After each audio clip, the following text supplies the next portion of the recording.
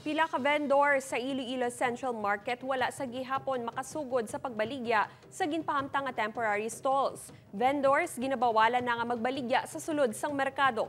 Si John Sala nakatutok. Lain gid kuno kung ikumpara sang una kita subong sa mga vendor sa Iloilo Central Market matapos sigin pasaylo na sila sa ila temporary stall sa guwasang merkado. Mamudlay man ang ila sitwasyon apang kinahanglan gid kuno nga mag-adjust sang gamay. Medyo mabudlay ang panggawi kagang amon mga suki way pa nakatultol gid sa amon. Ma okay lang na at least gamay-gamay nga antos sa manad na wo mata manong mo naman na, masanay.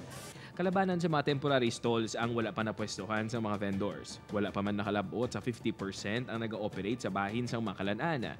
Nabtan sang news team si Manang Marilyn nga nagasugod pa lang pakay o sang iya stall. Di siyempre kay balaan bag-o lang man nga daan na tapos ang pandemic. Siyempre ang ang ano ginada ang budget gidya eh kulang gidya ti siyempre kami pamadaan mapakayo man.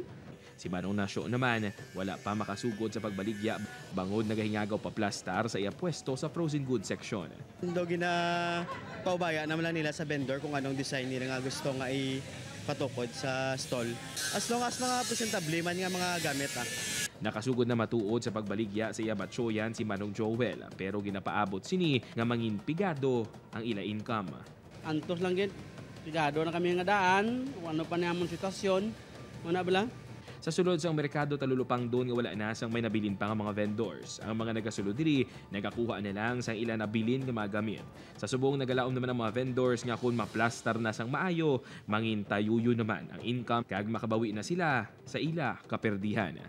Upuod kay Cirilo Renduque, John Sala, Juana, Western Visayas.